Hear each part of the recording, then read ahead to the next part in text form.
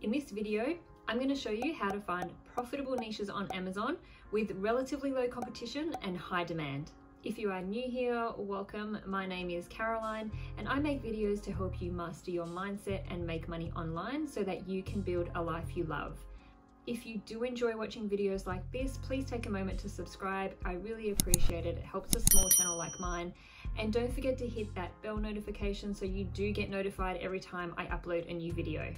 One of the biggest mistakes that you can do when choosing a niche is picking one that has absolutely no competition. If no one is uploading books to a particular niche, there's a reason for that. It might seem counterproductive to pick niches that have competition in them, especially a lot of competition, but this is where the demand is, it's where the sales are, and it's where the money's at. If there are lots of products in a particular niche, it's because the market is asking for it. Don't be scared of competition.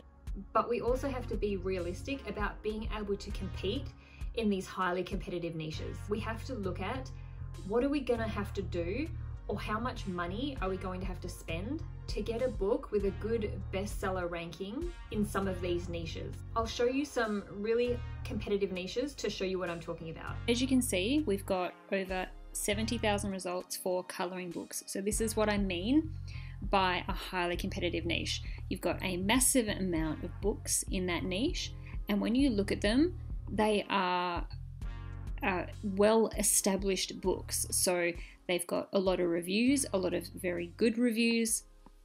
This one's got nine over 9,000. This one's got over 7,500. So this is what you're competing with.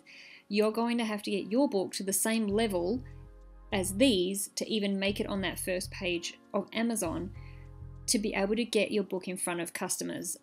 If you don't have this kind of quality book, these kind of quality reviews, you are going to have a really hard time to get into the same bestseller rankings as some of these books. You would have to throw a lot of money at it in advertising and it would take quite a while. If you don't have money for advertising, you would have to have a really big email list or a really big social media presence established already to try and get your book competing with these ones. So another one we could take a look at is Dog Notebook. So this is showing over 6,000 results, which is quite a lot for a notebook. It's a very generalized type of niche to search for.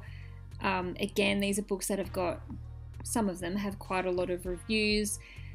The 800 reviews on that one, even though that's a spiral bound book.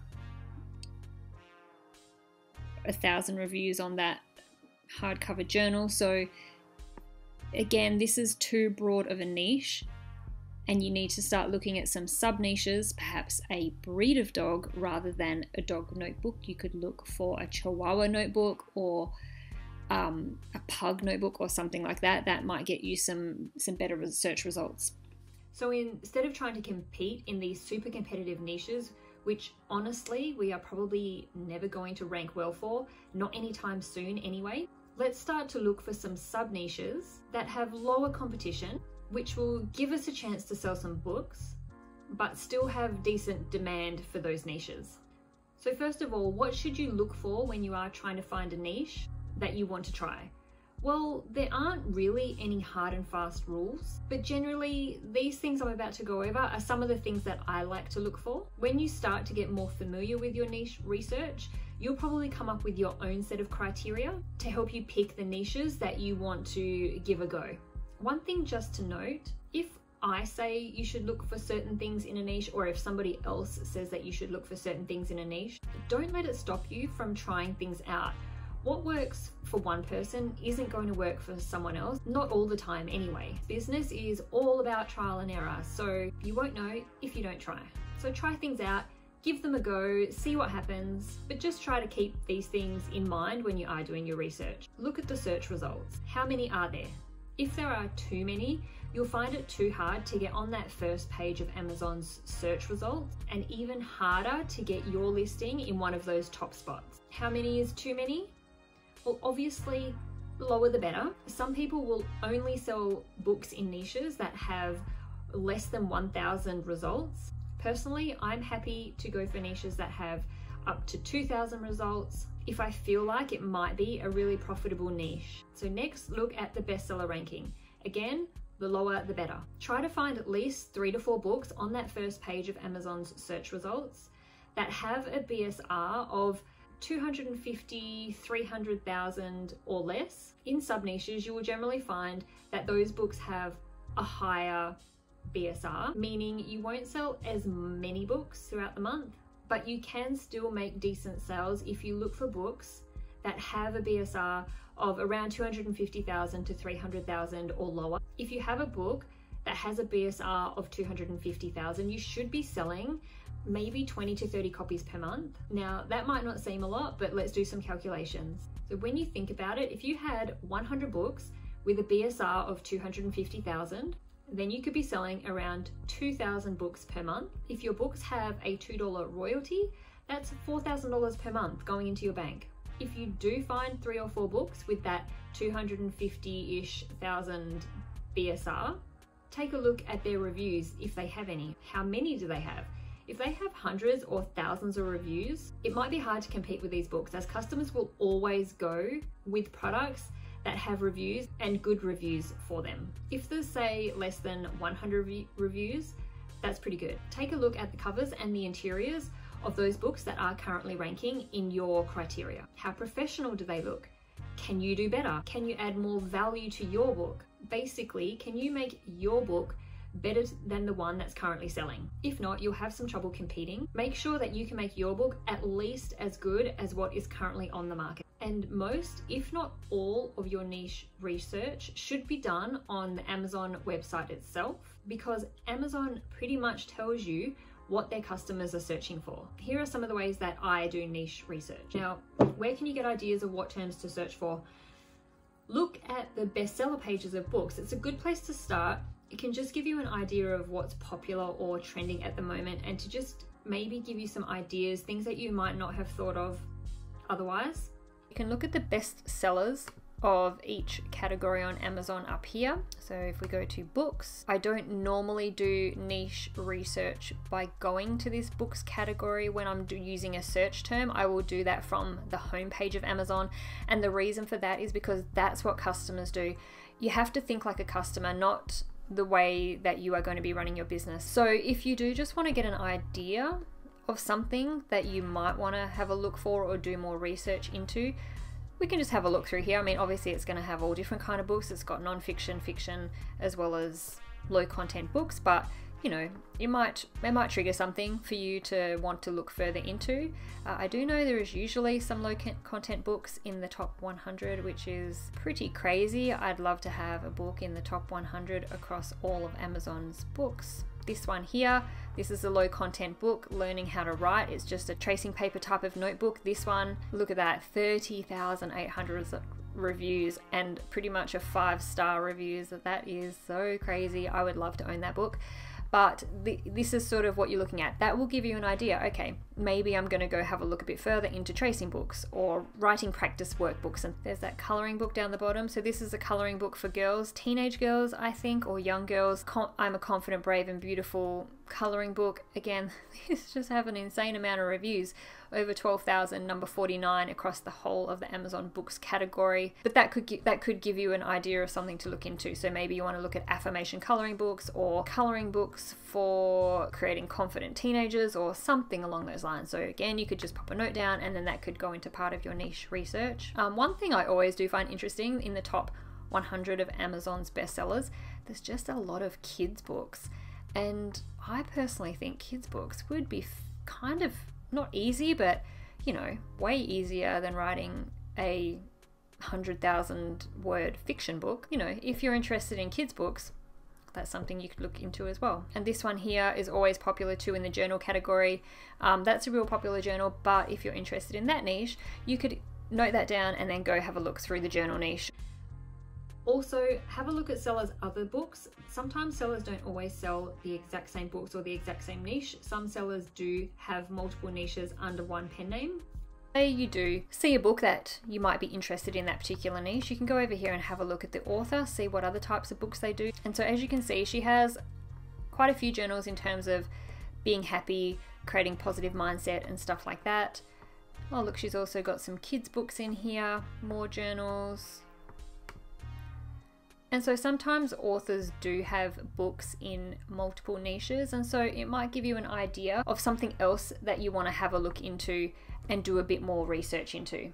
Another idea is to take a look on Pinterest and Etsy, in particular Etsy. So Pinterest can help you come up with good ideas too.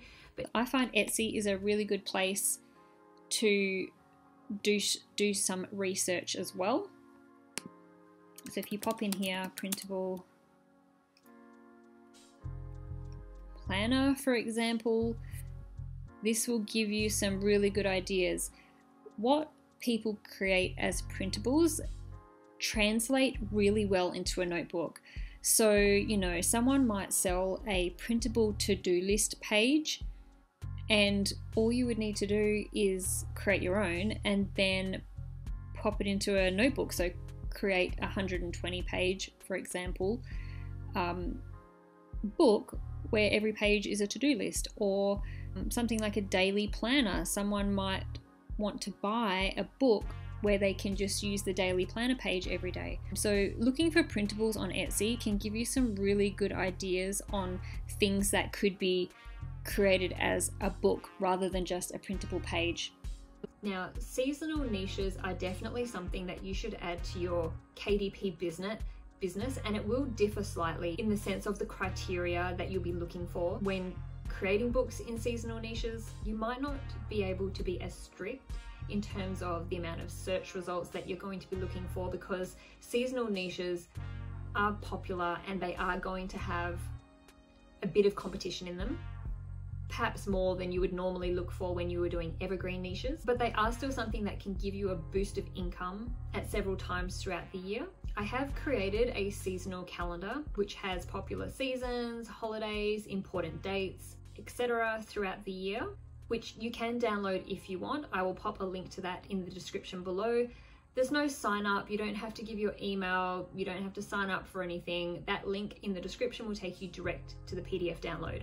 So now that you have noted down some general terms that you might want to search for on Amazon. When I'm doing my niche research, I will usually change this shipping address to something in the United States because it will come up with an alert saying that as I'm in Australia, it is only showing results who ship to Australia. So I want to see what the US market is going to be seeing as that's where I upload my books to. Like I say, um, do the niche research from the homepage because that's generally what customers are going to be doing. They're just going to come straight to Amazon.com and pop in a search term.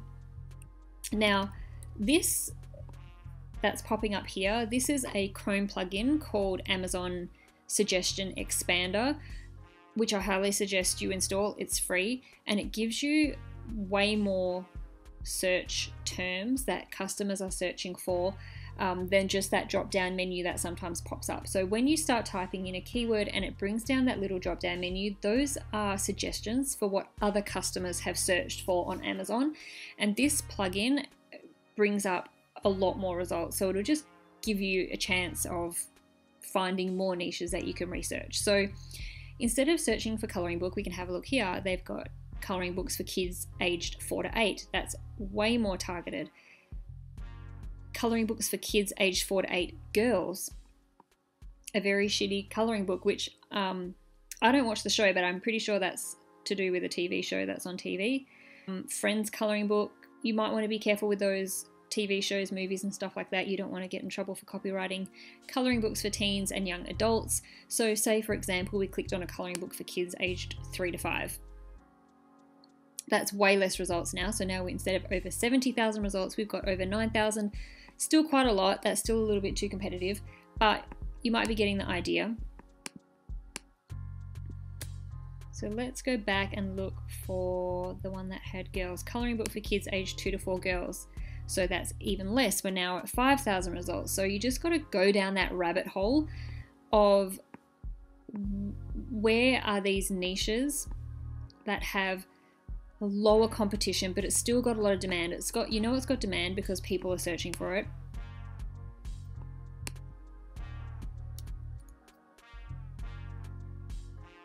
colouring books for preschoolers, even less. We're now down to 4,000 results, so we're getting there. You could even take a look through the titles of some of the books to give you an idea because the titles generally should have some keywords in them as well.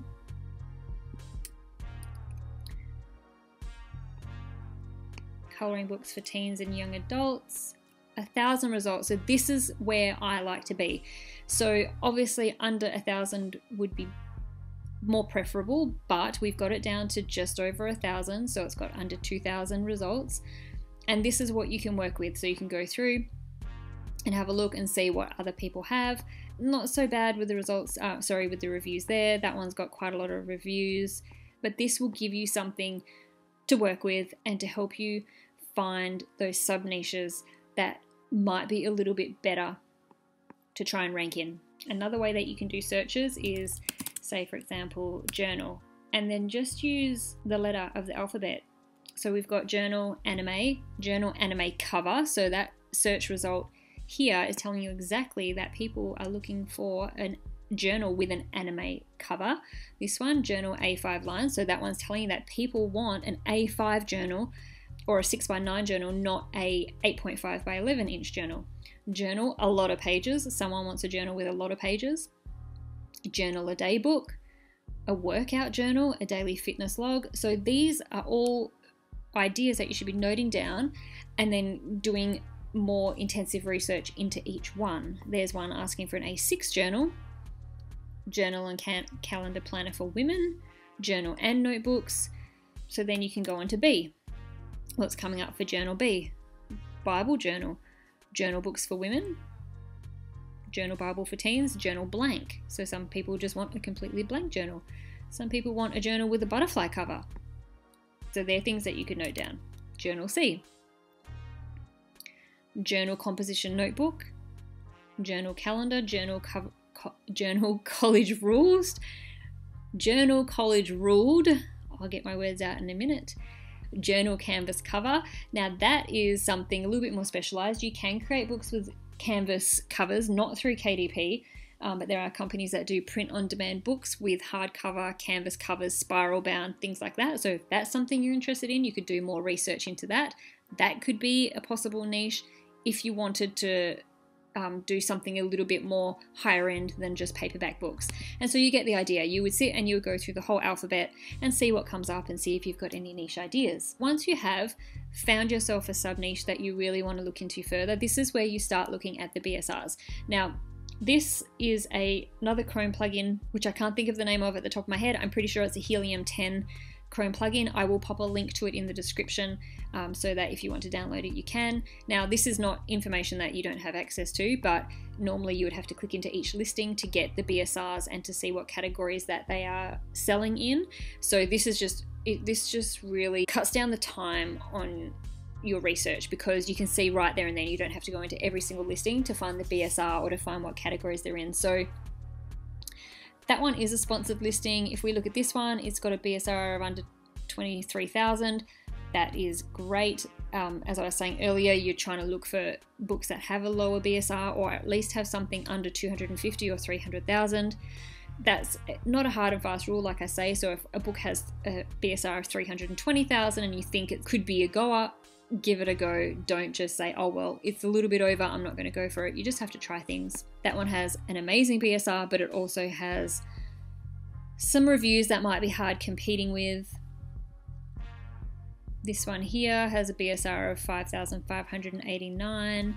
Again, quite a few reviews, but there are some books as well that have less reviews with great BSRs. So this is definitely a niche that you would want to try and create some books, at least one book, and see what happens. I would definitely try this niche. What I would also do is just pop in to a few of them and see exactly what kind of images are in them so that you can create something similar. So we can have a look inside and see what sort of images they've got. It looks like this might actually have black background, so that's different. That is really different. It's only showing one page, but that's a really different kind of coloring book. That's kind of cool. I like that. That's something that you could even translate into an adult coloring book or something like that because let's face it, the majority of coloring books are white with black lines, and that one's just completely different.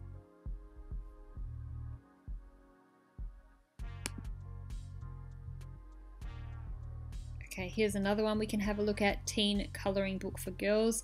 Let's see what kind of images they have in their book.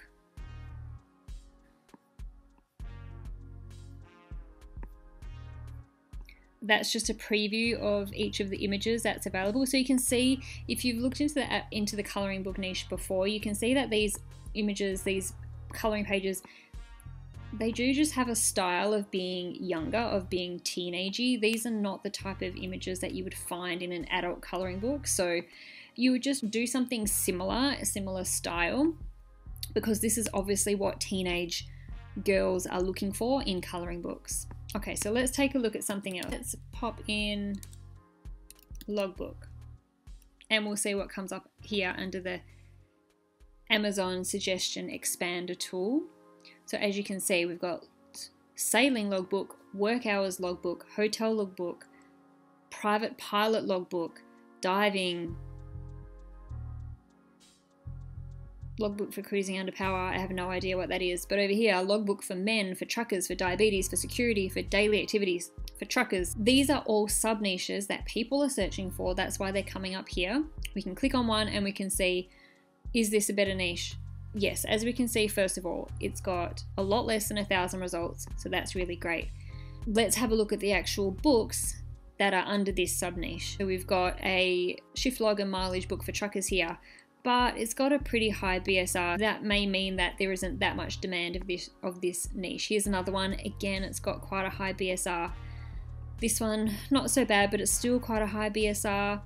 6.8 million, that's really high. 2.9 million. So this is telling me that there probably isn't quite enough demand for a logbook for truckers. And so you can just write that one off. But then you might see that things that come up. So let's have a look here. Drivers daily. Let's look for drivers daily logbook. It's got 131 results. Now these ones that show up in office products, they're ones that aren't printed by KDP.